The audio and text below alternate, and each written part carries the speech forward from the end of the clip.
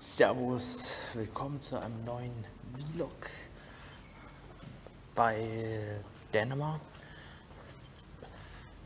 Ich bin Dan und herzlich willkommen zu diesem neuen Video. Ich bin gerade unterwegs, bisschen äh, zu Fuß. Ich habe mein Rucksack drauf und so. Ja, Rucksack dabei für Trinken. Leute, wichtig, trinkt was. Ist, ist mir, mir persönlich ist es mir egal, was ihr, mit, was ihr mitnimmt.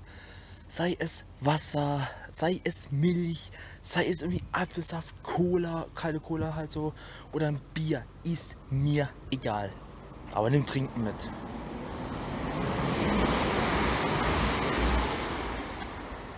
Ich bin gerade äh, an sich unter einer Brücke. Bisschen weil ich jetzt äh, auch hier auf dem äh, Hinweg zu dieser Brücke die ganze Zeit in der Sonne war. Ist aber nicht mein Ziel. Also die Brücke hier ist nicht das Ziel. Ich starte hier nur das Vlog und so. Und ja, vielleicht gucken, dass ich wieder in den Wald gehe.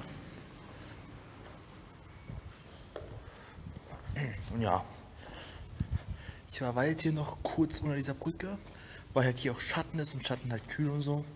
Aber wenn ich jetzt in den Wald gehe, dann habe ich erstmal bis dahin kein Schatten und bin teilweise relativ dann unter der Sonne. Obwohl ich sagen muss, nee, stimmt, da hinten ist ja noch eine Brücke, aber ja. Naja, dann gehe ich mal los. Jo, bin jetzt auf dem Weg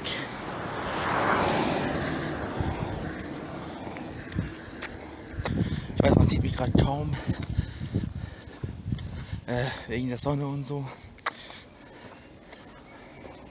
Ja.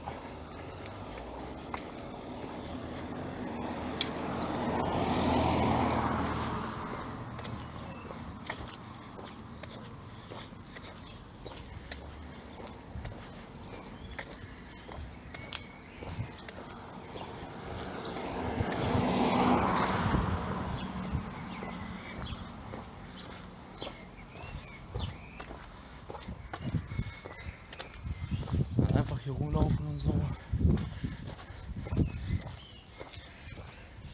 Ich weiß jetzt gerade nicht gerade der spannendste Teil.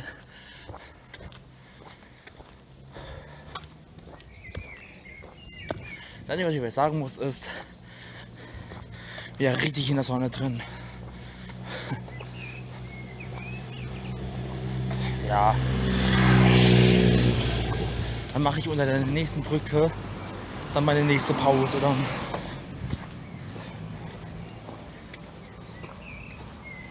Warum? Ist besser.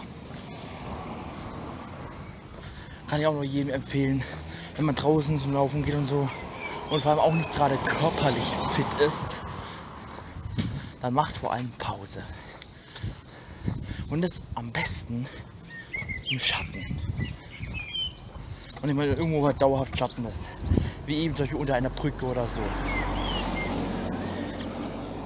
Weil ist ja besser. Wenn er die ganze Zeit hier unter, Sonne, äh, unter der, Sonne aus, der Sonne ausgesetzt ist. Ja. Ich sehe jetzt da vorne auch schon äh, die Abzweigung.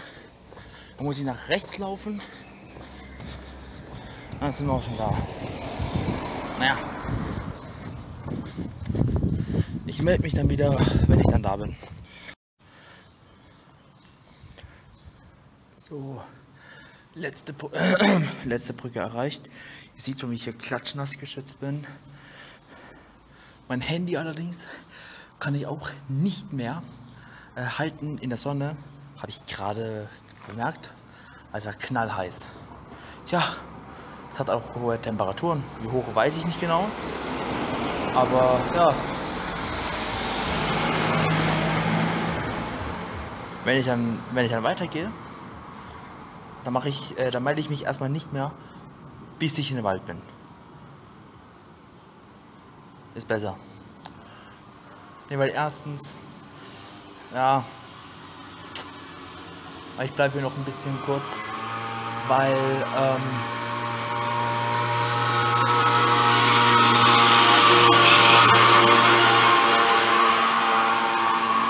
weil es halt hier auch kühler ist und meine, wie gesagt, ihr seht halt wirklich, ich bin, bin gerade tatsächlich voll geschwitzt wie noch was. Ja. Naja. Nee, ich denke, ich gehe jetzt weiter. Man sieht sich. So, bin jetzt im Wald angekommen.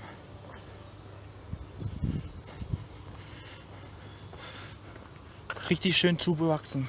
Als ich das letzte Mal war, da war hier noch nicht so alles voll. Ja. Ich werde aber wahrscheinlich die meiste Zeit hier nur äh, laufen und kein Vlog machen, bin ich ganz ehrlich. Jetzt gerade hier ein bisschen. Muss aber trotzdem noch ein paar Sachen sagen. So bin ich, bin ich halt ganz ehrlich. Wenn ich halt jetzt hier durch den Wald laufe, ist irgendwie eine Gruppe von Hornissen sehe oder so, dann würde ich direkt umdrehen. Bin ich ganz ehrlich. Weil ich habe dann irgendwie keinen Bock, dann irgendwie von Hornissen oder so gestochen zu werden. Also sobald ich hier eine Hornisse sehe, ich drehe um. Manchmal die Viecher sind so groß. Kein Bock da drauf. Richtiges Sumpfgebiet und so. Ja.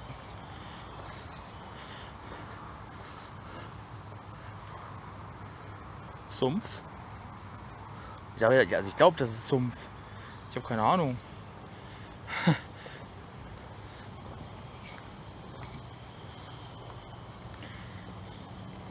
Grasbüschel.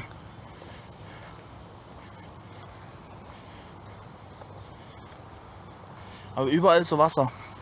Aber ich merke jetzt auch, jetzt wo ich hier im Wald bin, ist die Luft auch schon wieder tatsächlich ein bisschen frischer als äh, drüben in der asphaltierten Stadt.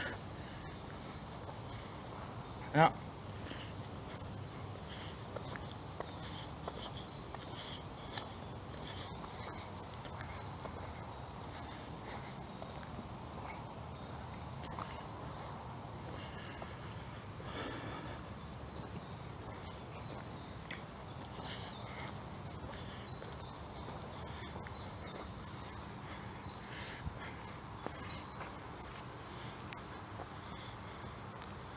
Echt wunderschön grün.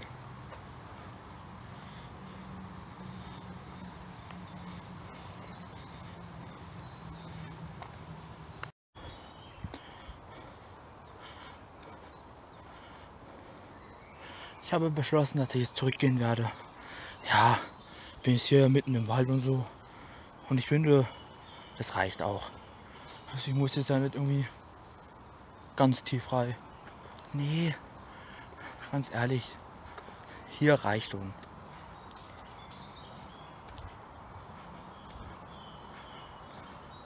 Ich glaube, da ist jemand im Wald. Ja, ein Vogel. Okay. okay. Auf jeden Fall, wie gesagt, ich gehe zurück. Weil besser. Ja. Ich weiß es schon ein bisschen länger jetzt.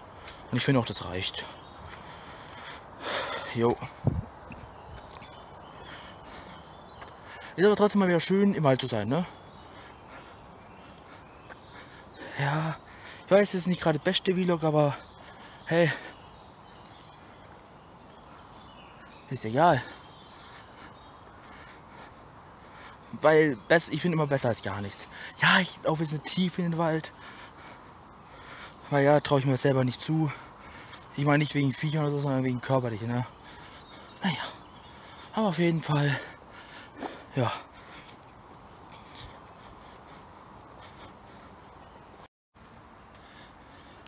Also eines weiß ich jetzt. Das Hemd, das ich gerade anhabe, ne, ist kein Waldhemd.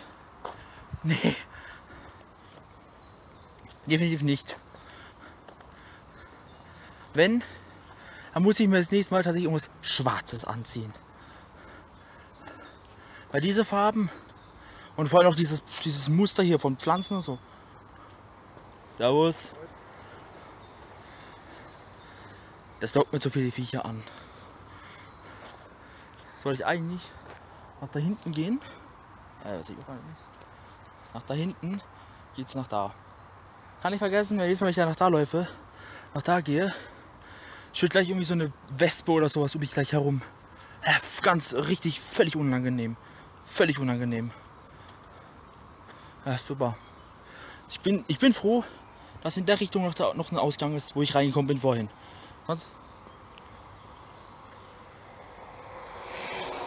sonst hätte ich jetzt ein Problem.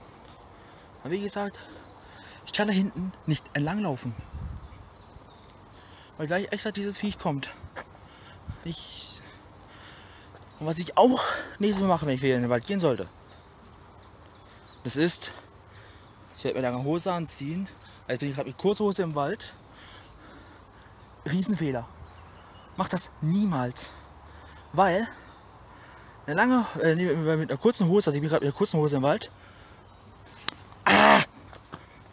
Ja, schon wieder, Alter. Ah, Mann. Ich werde gerade von Viechern gestochen wie noch was. Hier. Ah, ah, Mann.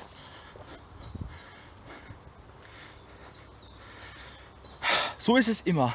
Du denkst ja so, hey, ich mache einen schönen Waldtag. Und dann am Ende wirst du von Viechern gejagt, von irgendwelchen Wespen oder so. Und den hat er von Mücken gestochen. Das ist super.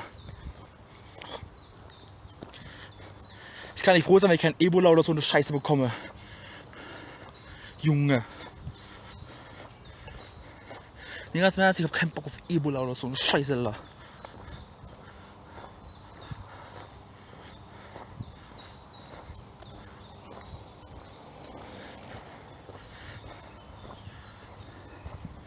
Ich will es nicht triggern, aber jetzt fehlen nur noch die, die scheiß. Jetzt fehlen nur noch die scheiß Hornissen. Und dann ist der Tag weg und dann ist das Ding wirklich am, am Arsch. Ja, super.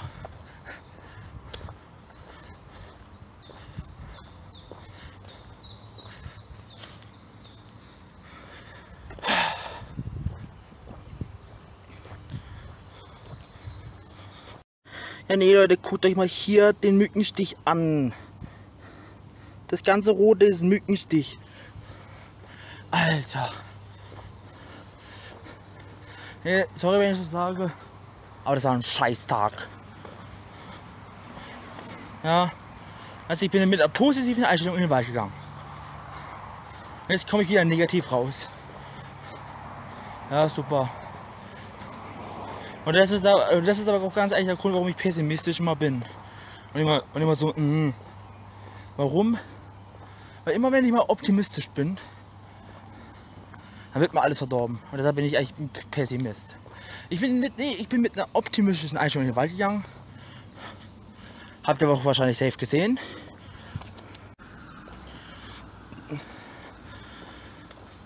Und jetzt habe ich eine ziemlich, ziemlich pessimistische Einstellung gerade.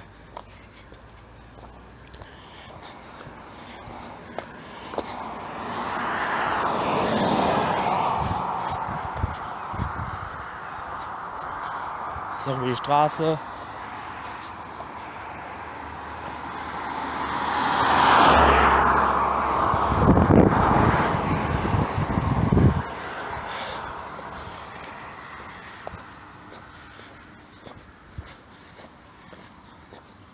Ich war noch nie so, ich war schon lange nicht mehr so froh, irgendwie hier wieder auf dem asphaltierten Teil irgendwie zu sein. Für den Moment. Nur für den Moment. Nee, aber ich bin gerade einfach, nee, ich bin gerade einfach nur froh, da raus zu sein. Weg von den ganzen Schnakenstichen und so. Toll.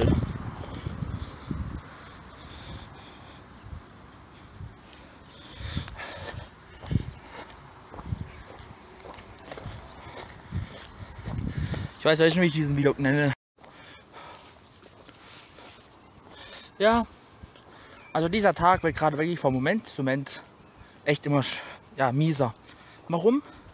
Nicht nur die gerade angewandten Sachen. Ich habe vielleicht etwas vergessen zu sagen. Ja, habe ich. Ich äh, bin vorhin möglicherweise, als ich im Wald war, auf ein riesiges Nest von der, ich weiß nicht, Eichelprozessionsspinner äh, gelaufen. Das Problem ist, diese Raupe kann zum Tod führen. Irgendwie so Atemprobleme herbeiführen. So, das Problem ist nämlich gerade, ich hatte hier gerade eine, äh, auf dem Ding eine Raupe. Ich weiß, weil ich mich nicht mit der Natur so auskenne, weiß ich nicht, ob das gerade eine war. Ich weiß nur, die, die war grün. Also wenn eine Eichenposition schon mal nicht grün ist, dann bin ich safe. Wenn nicht, tja, dann ist das hier vielleicht auch mein letztes Video für immer und ewig.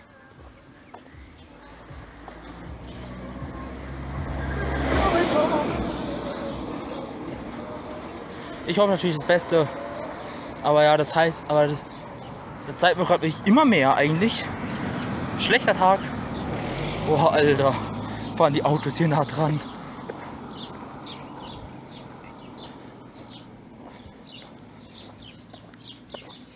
Aber super.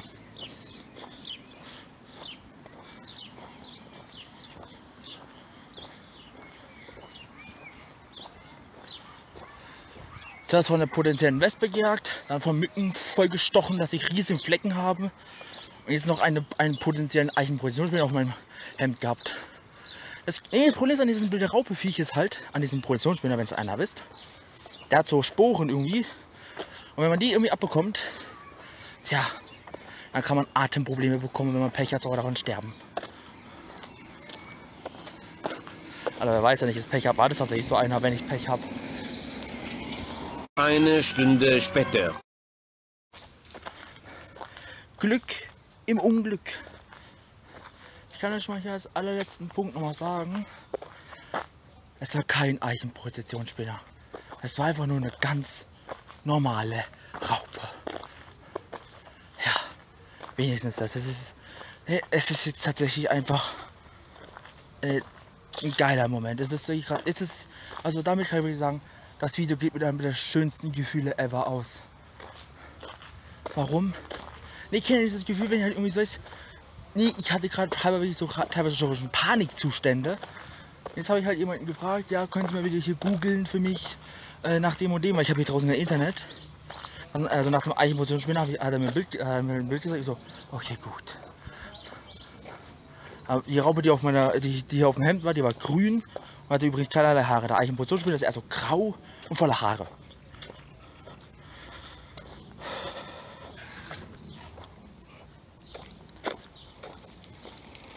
Moin. So. Und damit würde ich jetzt sagen, das war's mit dem Video, mit diesem Vlog. Ich hoffe, es hat euch gefallen. Falls ja, könnt ihr mir gerne ein Like da lassen. Und ein Abo würde mich sehr freuen. Lasst ein bisschen diesen Kanal hier explodieren. Und dann würde ich sagen, bis zum nächsten Mal. Keine Ahnung, was ich mache. Und ja, ich wünsche nur noch einen guten Start in die nächste Woche.